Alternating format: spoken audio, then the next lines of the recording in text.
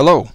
Thank you for taking the time to uh, listen in on our presentation of testing high-speed avionics, Ethernet, and fiber channel switches. As avionics applications have increased in complexity and sophistication, they have required an ever-increasing amount of data bandwidth. And as a result, traditional bus technologies like MIL Standard 1553, ARINC 429, and ARINC 629 are giving way to switched networks based on more commonly available technologies like Ethernet and fiber channel.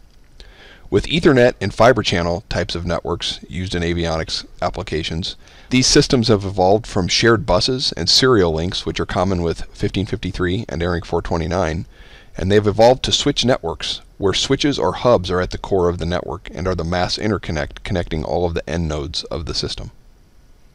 If we take a look at a comparison between some of the most common legacy data bus technologies as compared to the newer network-based approaches uh, of Ethernet and fiber channel, we can see that not only has there been a shift from the use of serial interfaces or shared buses to, to switched star type networks, but that also fiber channel and Ethernet have introduced many more options and possibilities into these networks.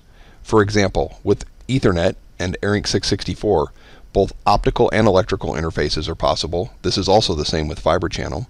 And with both Ethernet and fiber channel, there are several options for the data bit bandwidth or the data bit rate used on the interconnects between the end nodes and the switches.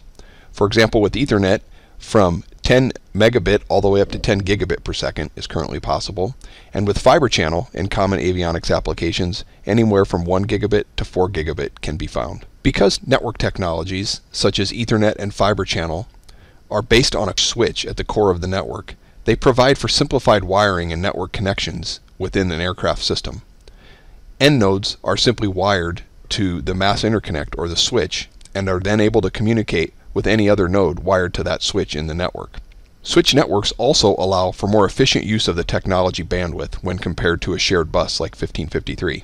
With shared buses, only one node can communicate at any given time, and therefore the total bandwidth provided by the network is set and only allowed to be used by one node at a time. With a switch network, individual data paths can be established through the switch between end nodes, and therefore multiple pairs of end nodes can communicate simultaneously with each other and take full advantage of the bandwidth that's allowed on each link between the switch and the end node. Now, let's talk a little bit about fiber channel as used in avionics systems. Fiber channel was originally developed to support the storage area network market. Some of the typical characteristics of SAN networks are they're large networks with hundreds or even thousands of nodes. The networks are composed of equipment from multiple vendors, so equipment must be highly interoperable across vendors. They are dynamic environments where plug and play operations are very important. And in SAN networks, real time is measured in tens of milliseconds. For avionics adaptations of fiber channel, the environment is quite a bit different, and as a result, the considerations for the supporting test equipment and test systems are also different. Avionics fiber channel networks can be characterized as follows. Smaller numbers of network nodes, usually tens or dozens nodes, fewer vendors of equipment attached to the networks, static configurations, so no plug and play is really required, and real time is measured much more tightly in tens of microseconds in avionics networks. One of the key and emerging adaptations of fiber channel for avionics is high-speed 1760. This protocol is defined in SAE specification MIL standard 1760E as the standardized interface to be used between a host aircraft and its attached stores, which may be auxiliary fuel tanks, sensors and cameras, or weapon systems.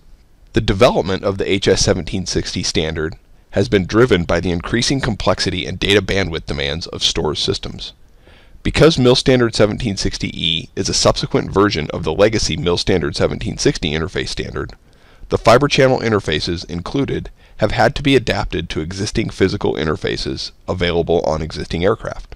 This most notably means that HS 1760 requires the use of electrical media instead of optical media for the fiber channel interfaces so that existing electrical pins and connections can be utilized.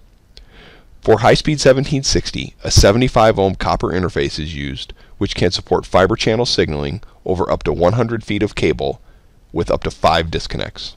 HS 1760 allows only the switched fabric or switched network topology of fiber channel. Additionally, HS1760 further simplifies this by only allowing a tree structure of network switches in the network backbone switching fabric. In this tree structure, a principal switch is located at the top of the tree. The principal switch uses an HS1760 specific protocol called Fast Fabric Initialization to distribute routing tables to the downstream switches at power up. This allows a single configuration point in the network, and the Fast Fabric Initialization allows for the entire system to come up quickly after power up or restarts. Another commonly used adaptation of fiber channel for avionics applications is ARINC 818. ARINC 818 is a commercial aerospace specification which defines the use of fiber channel to carry video data streams within avionics systems. ARINC 818 allows only the point-to-point -point topology of fiber channel. However, in most real avionics systems, video streams are often routed through video switches to allow switching between multiple input streams at a display and to support splitting a single stream out to multiple displays. So, for ARINC 818 applications, there is typically some kind of fiber channel switching element at the core of the system which must be tested and verified.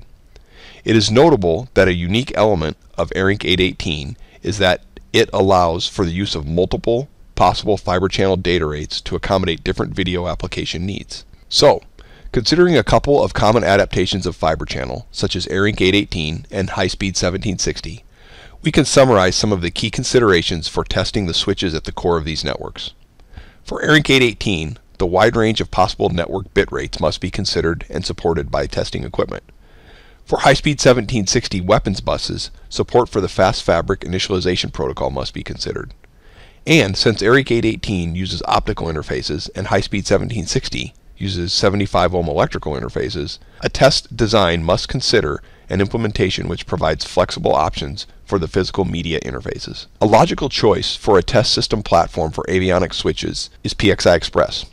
First, PXI Express systems exist which can host up to 15 fiber channel test instruments. This allows for the construction of single chassis systems which can easily support all of the I.O. interfaces required to test a 24-port avionics switch when using fiber channel test instruments with at least two network interfaces per instrument.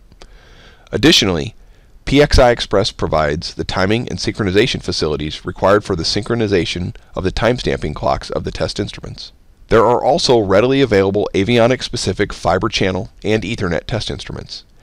Because the fiber channel switches can provide either copper or optical network interfaces, it is important to select a test instrument which provides SFP-based fiber channel interfaces which allow for the switching between physical media by only swapping SFP media transceivers. Another key feature to consider for fiber channel test instruments is the ability to generate frame data on board as opposed to requiring host software to stream data over the system backplane to the instrument. For capacity tests, High rates of data must be generated on all network interfaces, and this would swamp the test system backplane and host processor.